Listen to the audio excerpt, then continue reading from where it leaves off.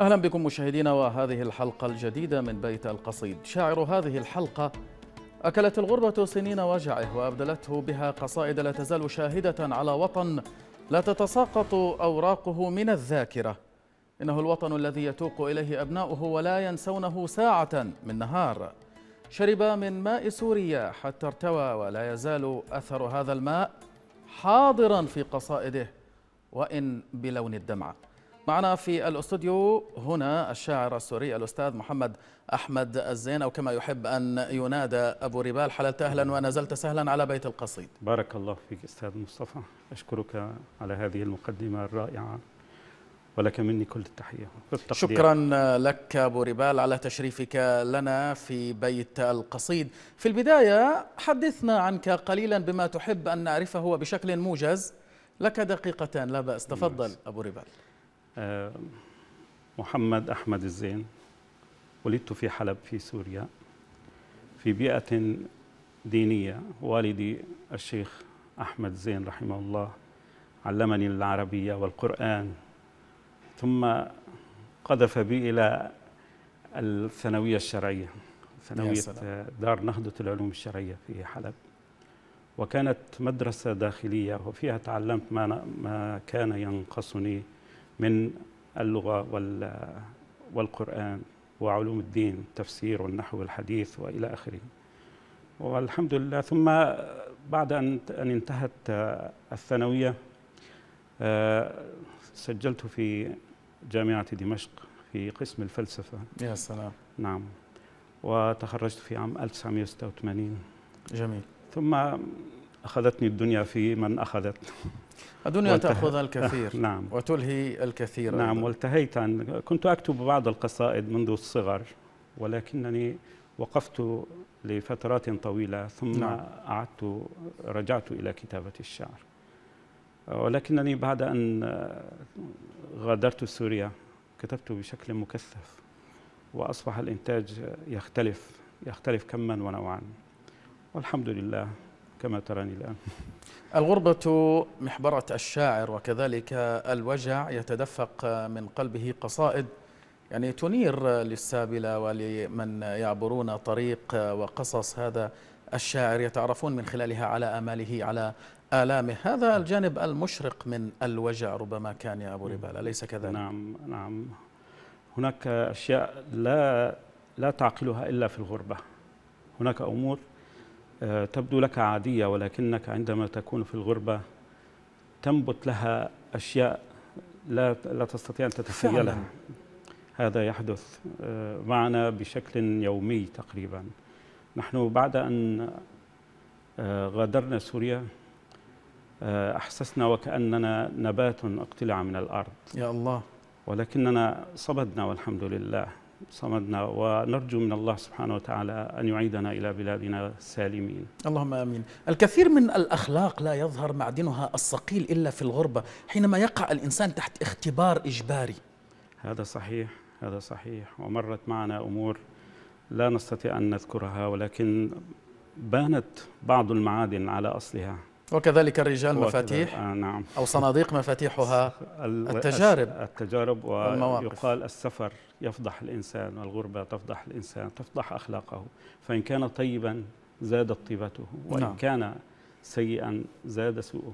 والغربة كذلك تفضح الشعر لكنها فضيحة حميدة وإن كانت تفتق ما بداخله من آلام إلا أن جوهرها يتشكل بميلاد قصيدة جديدة وإن كانت قصيدة تتحدث عن وجع وجرح. نعم هذا صحيح هذا صحيح. أشكر لك هذا التلميح أستاذ مصطفى. أشكرك. اقرأ لنا أولى القصائد التي تود أن تلقيها علينا في هذه الأمسية الماتعة من بيت القصيد وبعدها نواصل نقاشنا في هذه الحلقة. تفضل يا أستاذ محمد. أريد أن أبدأ بالحديث بالشعر عن الشعر. تفضل. حولي هنا أحرف صرعى وأوراق. حولي من جديد. حولي هنا أحرف صرعى وأوراق وفي خطوط يدي تنداح أشواق. حولي هنا أحرف صرعى وأوراق وفي خطوط يدي تنداح أشواق. الشعر يبهجني طورا ويذبحني. وللقصيد بقاع الروح إحراق. هذه الكراريس هذه الكراريس أضحت تتقي وجعي. لها من الجرح عند النزف إشفاق. في عزلتي تأكل الساعات دقتها. يا الله. في عزلتي تأكل الساعات دقتها. وللسدى وضجيج الصمت تنساق. لا شيء عندي للذكرى سوى ألمي وليس للألم الممتد ترياق. تعمد الوجع المقهور أغنية بمائه. تعمد الوجع المقهور أمنية أغنية بمائه فله موج وإغراق. لكنما لكنما هو في لكنما هو من دنياي في ضجر. وقد تمل من الأعناق أطواق. يا الله. أنا أقامر بالأعوام أكتبها. أنا أقامر بالأعوام أكتبها مهرا لحلم له في البال. إشراق يا خدعة العمر رد العمر لي وكفى. أما كفاك لكأس العمر؟ إهراق نامت على كتفي. كل الفصول. إيه. نامت على كتفي كل الفصول وما بدا لصيفك في الآفاق آفاق. وما بدا لصيفك في الآفاق آفاق. عسى هذه الآفاق تبتسم لشاعرها من جديد وتأتي محملة بسلال الأمل حتى يهنأ قلبه. وينسر فؤاده. إن شاء الله. أبو ربال إذا أردنا أن نتحدث عن فكرة الإبداع الشعري في زمن الصدمة أو زمن الألم والمعاناة هل لا تزال القصيدة العربية قادرة على ترجمة مشاعر وأحاسيس وآلام أهلها بقوة؟ أنا من المتفائلين بمستقبل الشعر. والحمد لله يعني أسر عندما أرى بعض الشعراء الشباب وهم يتمتعون بكامل لياقتهم اللغوية والثقافية يمتطون أراجيح الشعر يا سلام. بكل قوة ويأخذونها وكأنها آه، شيء سهل وكأنها شيء سهل يا سلام. يعني يأخذون راحتهم بكل أريحية يأخذون آه، كامل فرصتهم أنا أسر بهؤلاء وأنا متفائل جدا بمستقبل الشعر وإن كان هناك بعض الذين يتسلقون على على الحروف ويخدعونها ولكنهم قليل وباعتقادي أنهم سوف ينتهون للا شيء. أما الزبد فيذهب جفاء وأما ما ينفع الناس فيمكث, يمكث في, الأرض. في الأرض. أحسنت أحسنت أستاذ محمد. عن الفعاليات الثقافية الحديثة الآن طالما أنك تحدثت عن وجود مبدعين ومثقفين وشعراء قادرين بقوة أن يواصلوا هذا الإبداع ويقدموا الفريد والجديد. دعنا نتحدث قليلا الآن عن الفعاليات الثقافية وما تضيفه للمثقف والشاعر بشكل خاص ولعموم الجمهور المحب والمتشبث بلغته بشكل عام. الفعاليات الثقافية تضيف الكثير إلى الإنسان. تفضل. أول ما تضيف إليه نعم. هو التشجيع. التشجيع يكتب الإنسان ولكنه لا يعلم ما قيمة هذه الكتابة لا يجد رجع الصدى. لا يجد رجع الصدى لا يجد مناصرا. أيوة. وعندما محفزا. وعندما تكون هناك فعالية ثقافية يعرض أفكاره على الناس يعرض أفكاره على الناس ويعرض لغته على الناس ويعرض شعره على الناس. فيتبين هنالك يتبين له إن كان يمشي في الطريق الصحيح أو أنه يمشي في طريق خاطئ. وعند ذلك يمكنه التصحيح إذا أراد وبكل سهولة. هذا ما تضيفه للشاعر أو المثقف. ماذا نعم. عن الجمهور العادي؟ الجمهور عن المثقفون هم قادة الجمهور. يا سلام. هم قادة الجمهور. وإذا آه، وجد الناس أن المثقف الفلاني أو الشاعر الفلاني آه، يتصرف بهذه الطريقة أو يكتب بهذه الطريقة أو يتعلم ويعلم بهذه الطريقة فإنهم لا شك سوف يتبعونه يا سلام. على الأقل أو يقدرون ما يفعل. لكن هذه المسألة بالغة الحساسية. هذا صحيح هذا صحيح. وتضع على أعناق المثقفين وعلى أكتافهم مسؤولية كبيرة. هذا واضح وجدي. شيء جدي هل هم قادة مجتمعيون باعتقادك المثقفون لا. بشكل عام والشعراء؟ أم أننا بهذا نحملهم ما لا يطيقون؟ لا ليسوا قادة اجتماعيون ليسوا قادة وليسوا مصلحون. إلا ما ندر. طبعا ممكن أن يكون أحد مثلا المصلحين أو أحد نعم. قادة المجتمعيين ممكن أن يكون آه، شاعرا أو مثقفا أو كذا ولكن الأساس أنهما مفصولان لا, لا علاقة لأحدهما بالآخر.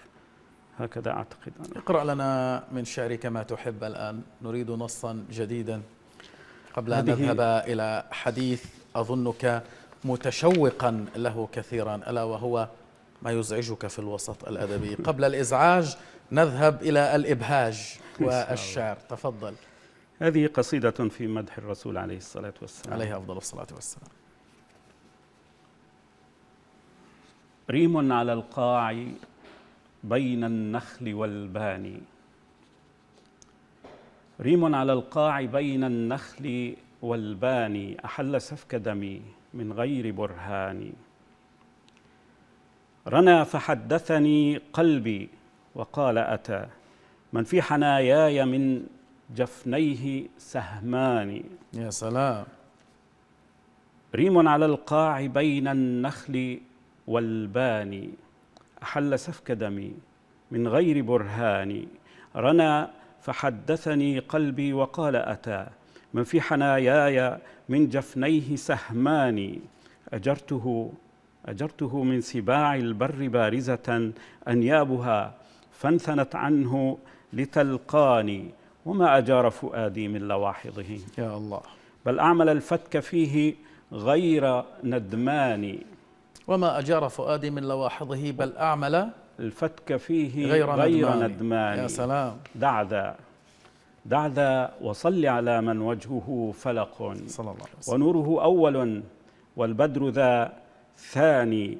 محمد والبرايا من خلائقه تعلمت كل خلق طيب داني.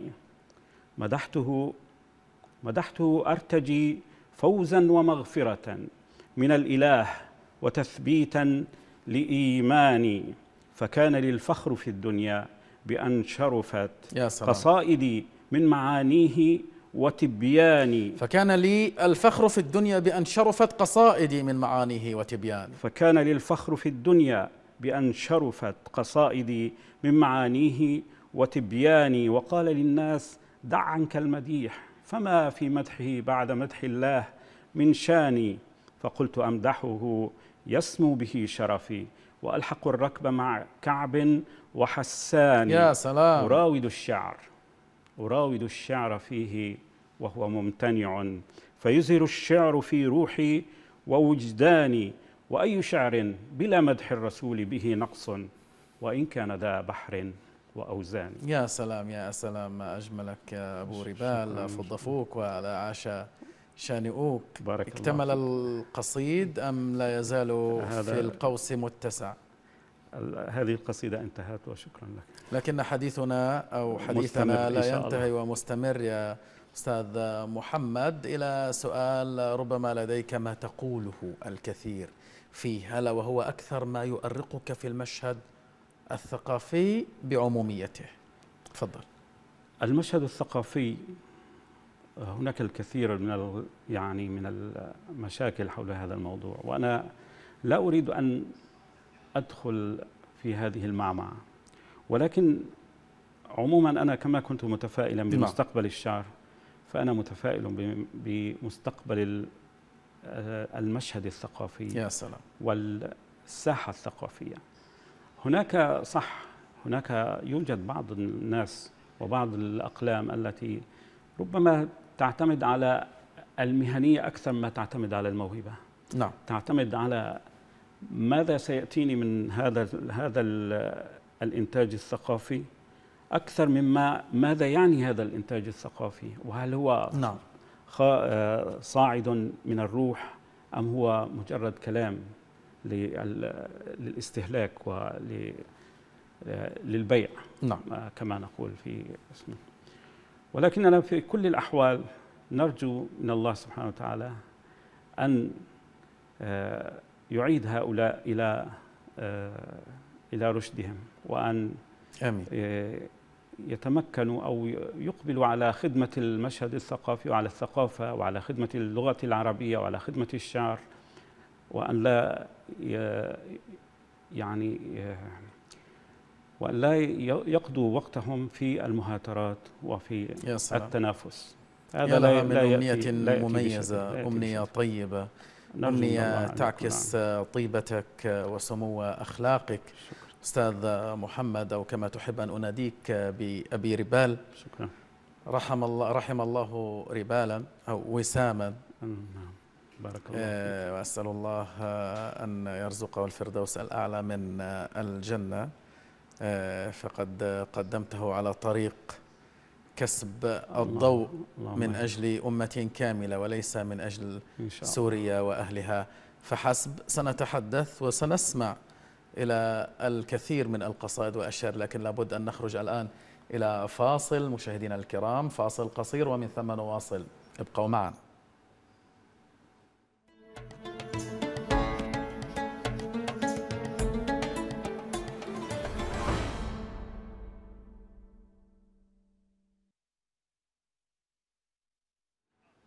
حياكم الله أعزائنا المشاهدين وأهلا وسهلا بكم. ما زلنا في رحاب هذه الحلقة من بيت القصيد ومعنا هنا في الاستوديو الأستاذ محمد أحمد الزين.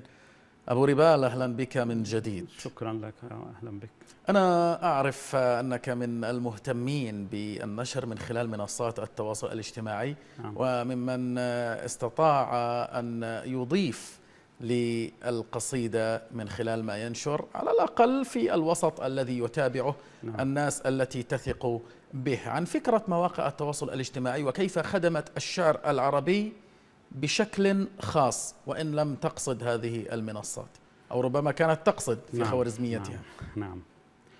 آه وسائل التواصل الاجتماعي أسهمت كثيرا في الدفع للثقافة والشعر نعم إلى الأمام هذا لا ينكر أبدا.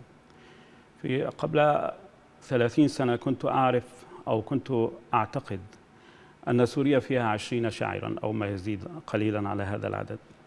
أما الآن فهناك المئات والحمد لله. نعم. كلهم لهم فرصة بأن يعرضوا نتاجهم. هذا جيد في في اعتقادي. نعم.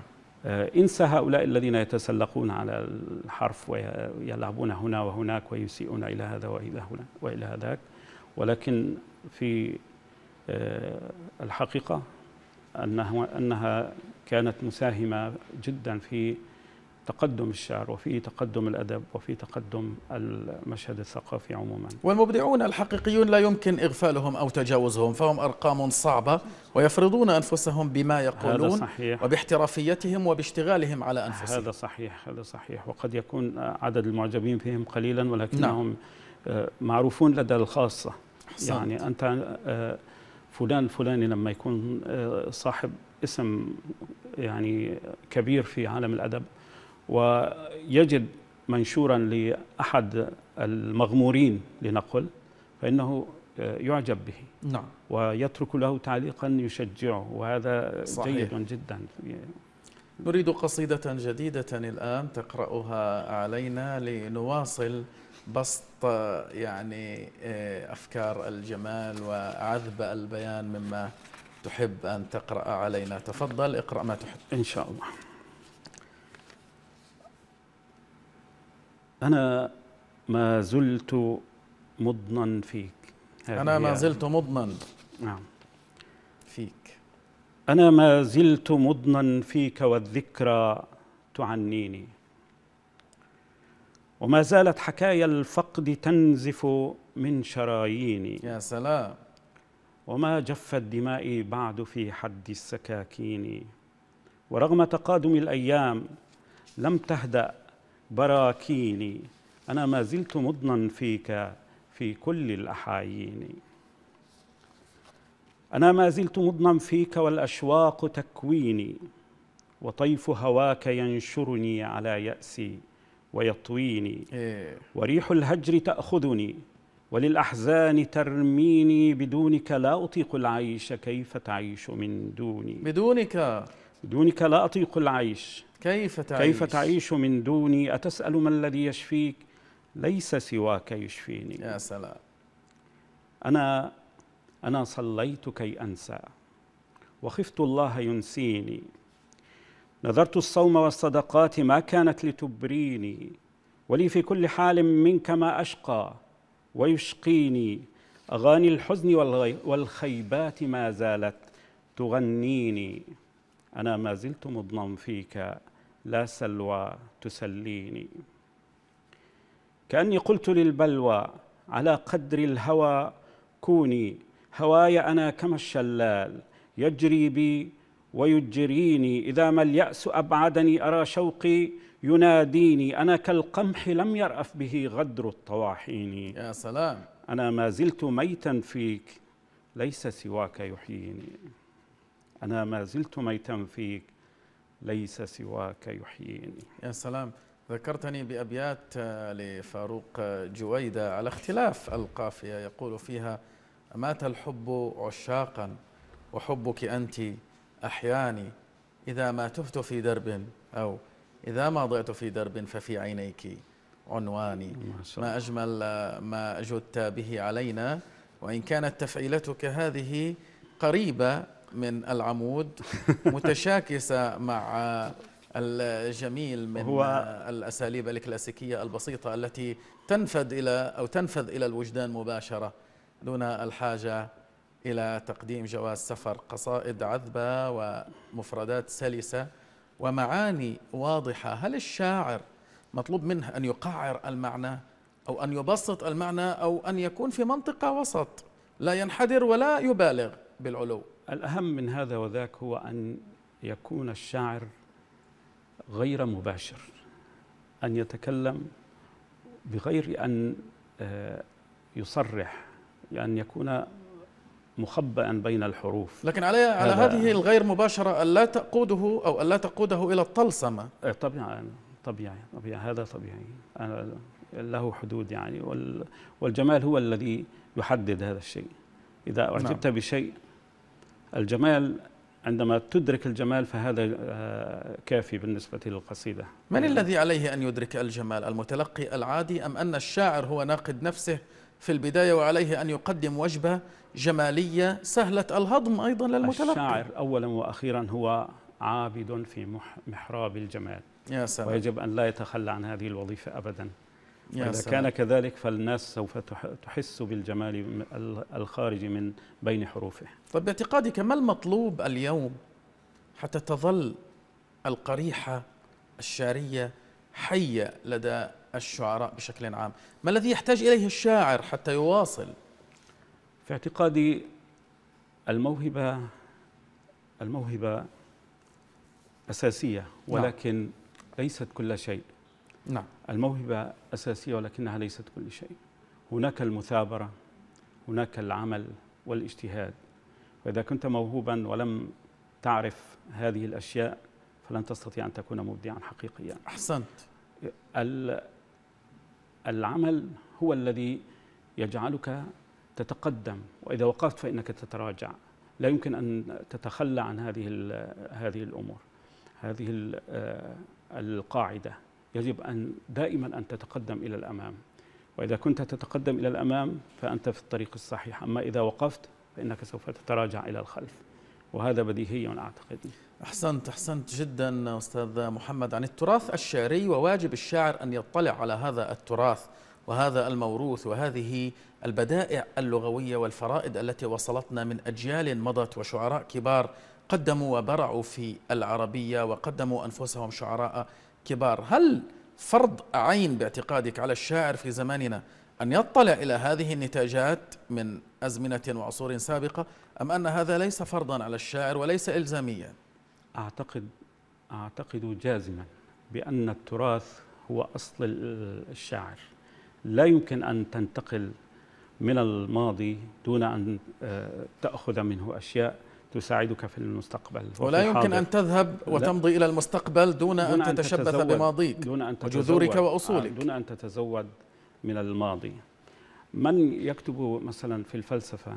دون أن يمرها على أبي العلاء المعري. أحسنت. ومن يكتب في الغزل إن لم يمر على قيس بن الملوح. يا سلام. ومن يكتب في ال ال الزهد والتقوى إذا لم يمر على أبي العتاهية.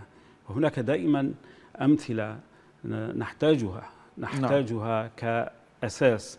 ثم بعد أن نتمكن من هذه القواعد ومن هذه الأشياء بإمكاننا أن نتقدم إلى الأمام. هذا الأمام الذي تتحدث عنه ربما يكمن في البصمة الذاتية. عن نعم. البصمة الذاتية وكيف يمكن أن تتشكل باعتقادك ورأيك الخاص. البصمة الذاتية للشاعر. نعم. نعم. هنا حينما أقرأ دون أن أرى الاسم أقول هنا كتب أبو ربال هنا كتب فلان هذا النص لفلان. هذا الشيء لا يمكن أن يتشكل. يفعله, يفعله الإنسان بشكل واعي. هذا يتشكل بدون وعي. عندما تجد إنسانا له بصمة خاصة هو لم يصنعها بنفسه وقال لا يجب أنا أن أضع هذه الكلمة هنا حتى أعرف نعم. بها لا هذا لم هذا لا يكون. وإنما هو من خلال مسيرته الثقافية من خلال مخزونه المعرفي ومن خلال مخزونه الفلسفي يستمد. يعني هي نتاج جهد تراكمي. نتاج جهد تراكمي كما تقول. هكذا يمكن أن نقول عن هذه الأمر إلى قصيدة جديدة. تفضل أبا ربال هذه القصيدة ذات منحى فلسفي. دعنا نرى. أنا لا زلت لا أدري. أنا لا زلت لا أدري. وقد شابت على الأيام أسئلتي. أنا لا زلت لا أدري. وقد هلكت على الأجفان منذ الماء أخيلتي. أنا لا زلت لا أدري وقد شابت على الأيام أسئلتي. أنا لا زلت لا أدري. وقد هلكت على الأجفان منذ الماء. أخيلتي. إلى أملي إلى أملي كتبت رسائل الغفران لكن دون عنونتي. إيه. تعود إلى أملي كتبت, كتبت رسائل, رسائل الغفران, الغفران لكن دون, دون عنونتي, عنونتي. تعود عودي السهران. يأس اللحن واللغة وقد فنيت بلا سبب على صحرائها جهتي.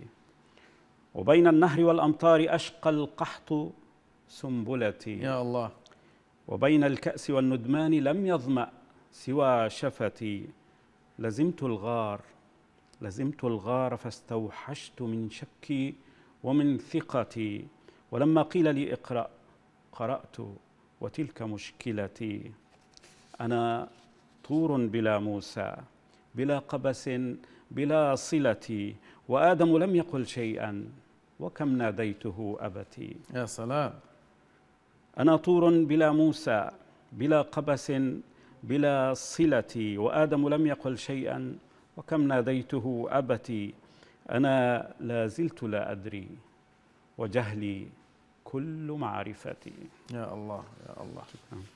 متواصلون أكيد يا أبو ربال ولكن لابد أن نستريح قليلا الآن أنا وأنت والسادة المشاهدين. إذا مشاهدينا الكرام سنخرج الآن إلى فاصل قصير. بعده نواصل ما تبقى من هذه الحلقة. فابقوا معنا.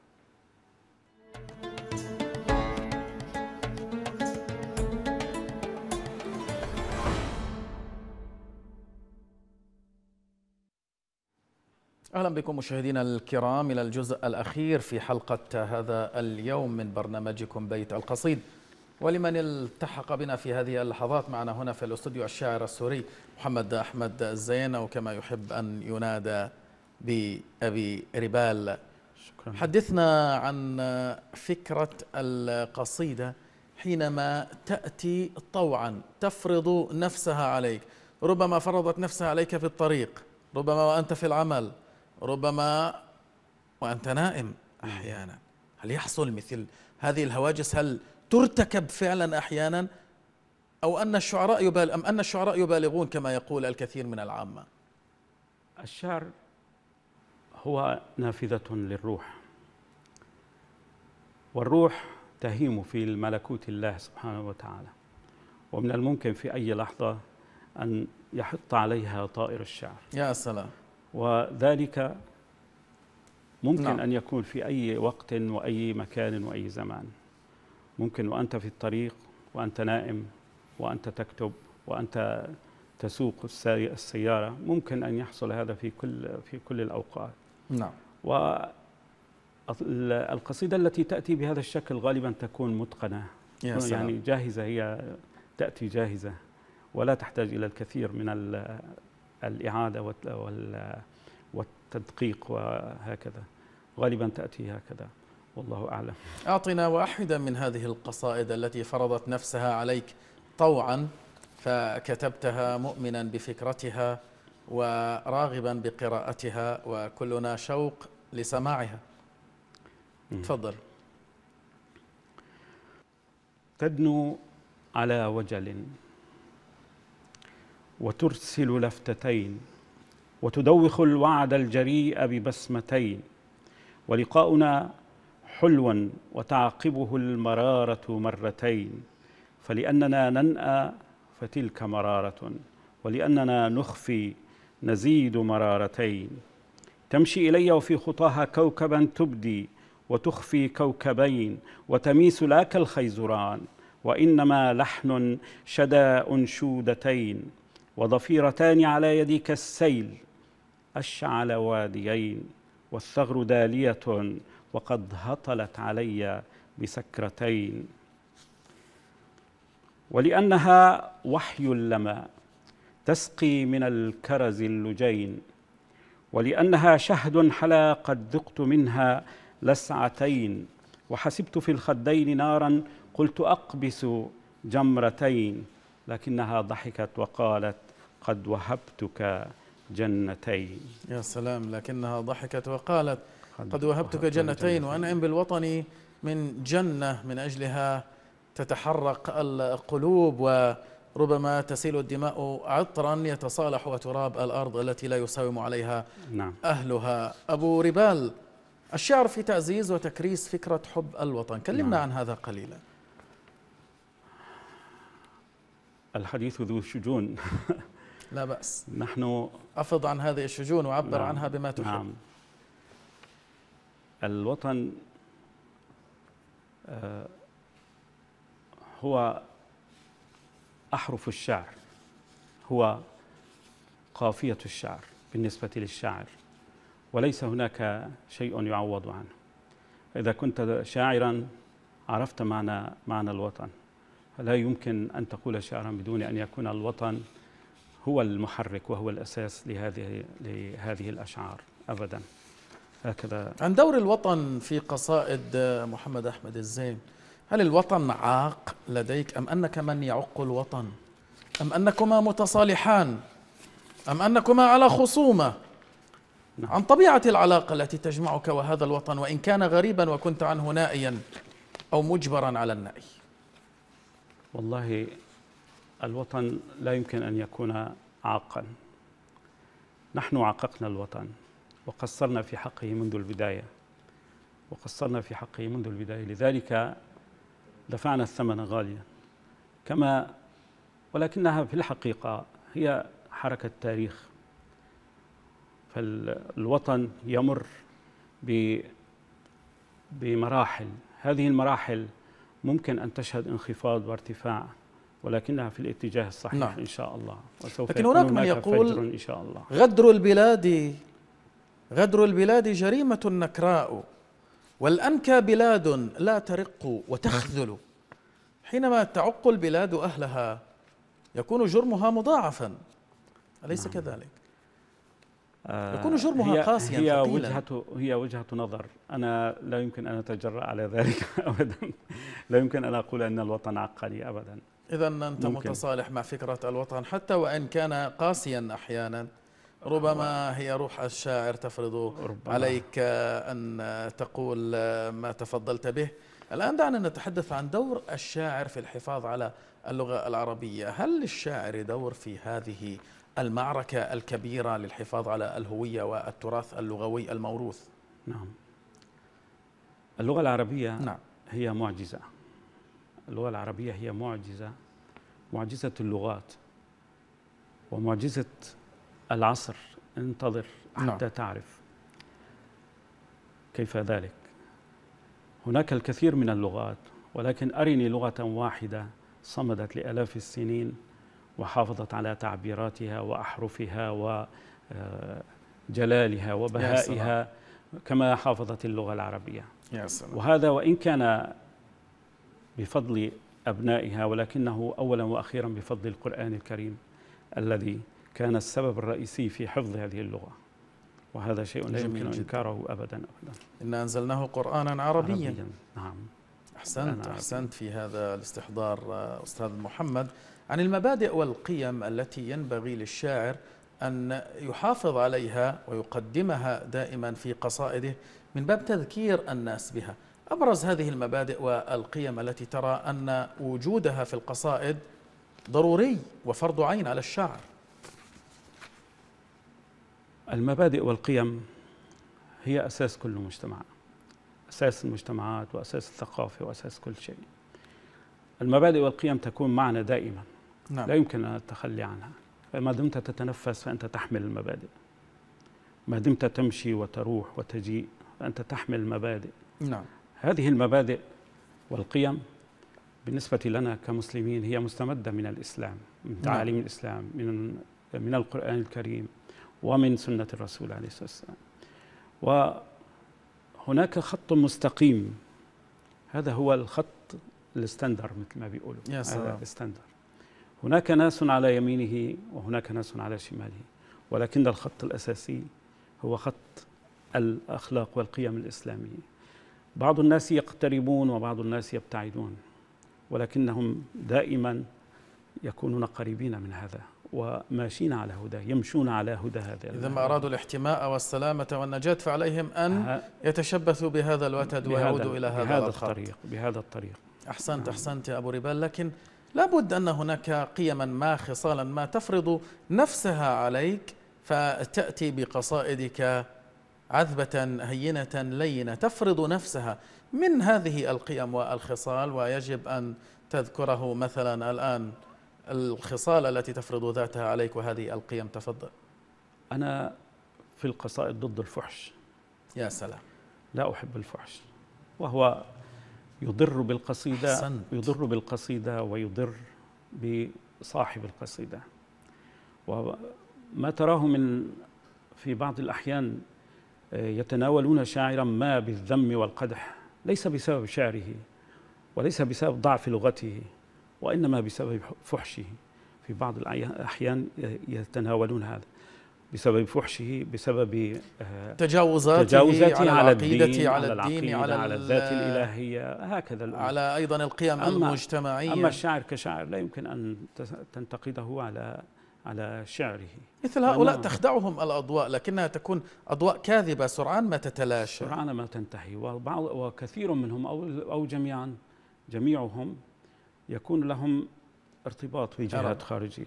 وربما كان لديهم يعني طمع. آه، طمع ما أو كان لديهم رغبة بخلق حالة من الجدل.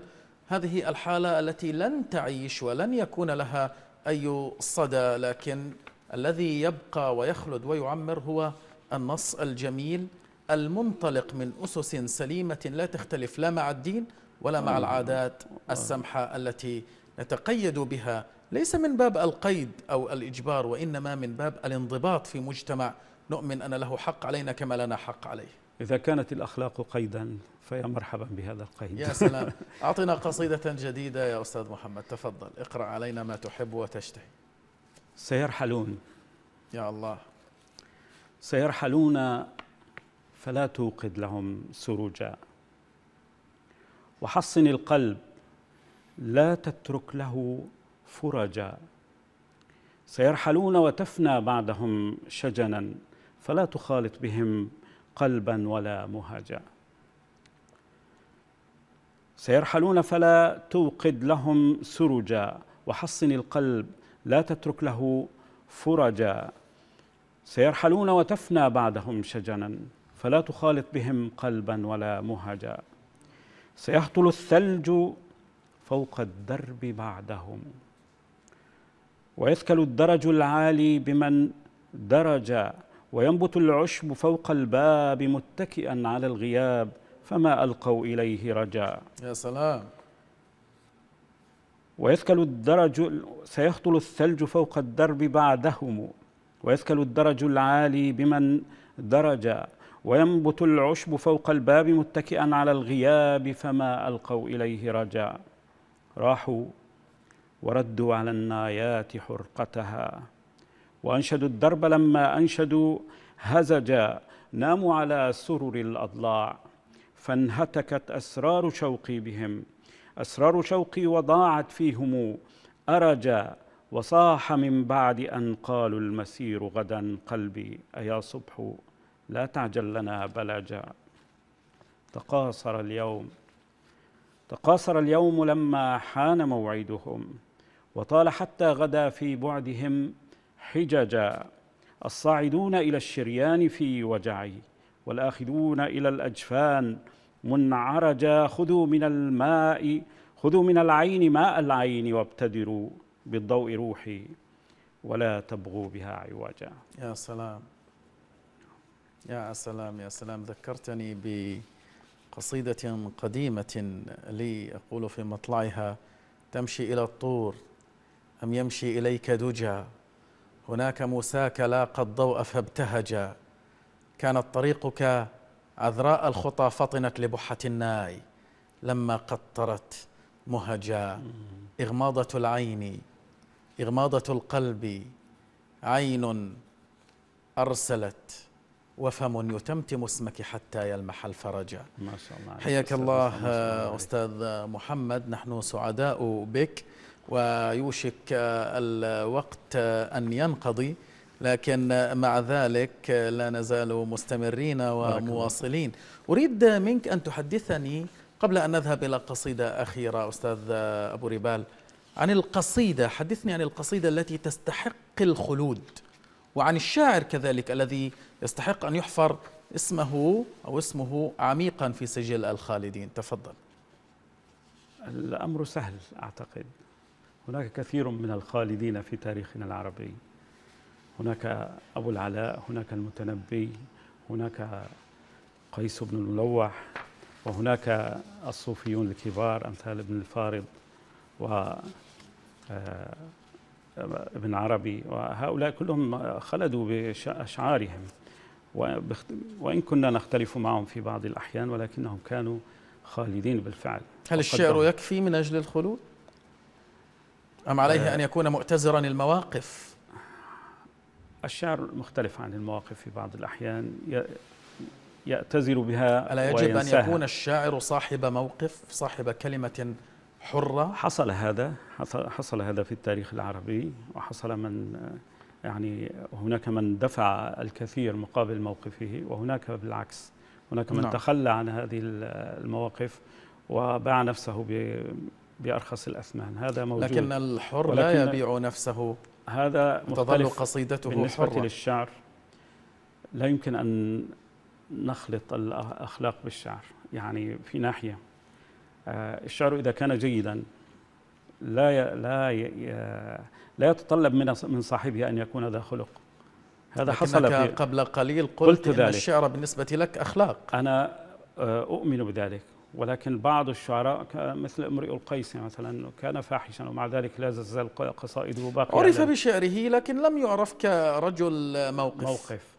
إيه، وإن كان خرج طالبا للثأر لكنه أيضا لم يعزز قيما مجتمعية عالية. هذا صحيح. لكن هناك من عرف بشعره وعرف بمواقفه. آه نعم ولكن والتاريخ هذا الإسلامي والعربي يقدم لنا الكثير من موجود النماذج. موجود هناك موجود هناك الكثير ولكن آه أرى أن نفصل نعم. الشعر كقيمة فنية كقيمة فنية عن مواقف الشاعر. وهذا هذه يعني لك لا بأس بها. أعطنا القصيدة الأخيرة للأسف الوقت الوقت يعني يداهمنا ووصلنا إلى آخر القراءات في هذه الحلقة. تفضل أبو ربال. كلنا شوق إلى هذه القصيدة.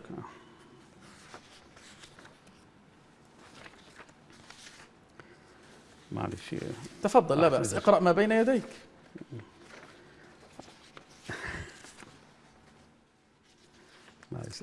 هل تاهت القصيدة أم تهت أنت عنها؟ اقرأ ما بين يديك لا بأس.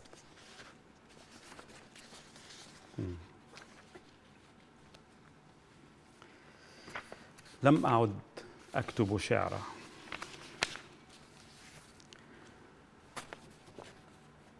لم أعد أكتب شعرا. سقط الحرف إلى هاوية الصمت وفر ونض القلب رداء الحبر كرها وتعرى وانتهى الإحساس في قارعة البرد ومات الصوت ذعرا. يا نديمي قم بنا عن صهوة الأمس فهذا اليوم أغرى لم أعد أكتب شعرا. سقط الحرف إلى هاوية الصمت وفر ونضى القلب رداء الحبر كرها وتعرى وانتهى الإحساس في قارعة البرد ومات الصوت ذعرا. يا نديمي قم بنا عن صهوة الأمس فهذا اليوم أغرى. واتل سفر الماء واتل سفر الماء واشهد أنني ما عدت بحرا. مولع بالحرف مولع بالحرف نم فوق أغانيك ولا تستعل كبرا وأعرني هذه الأوراق فالنيران بالممسوس أحرى هذه العتمة لا تؤمن بالفجر أغرى لم أعد أكتب شعرا. لم أعد أكتب شعرا. كلما أذنت بالهجر أتاني الشعر غدرا. وسقاني ظمأ المعنى وزاد المر مرا مل ظهر الحرف من حملي وما استبدلت بالأشعار مهرا لم أعد أكتب شعرا. هذه القافية السمراء زلت من على متني سرا ثم قالت لي وداعا ها أنا أخرج من عطفيك قهرا لم أعد أكتب شعرا. لم أعد أكتب شعرا. نسأل الله أن يديم هذا الجمال عليك وأن يعطيك من العمر المديد حتى تفيض علينا بمثل هذه القصائد الجميلة.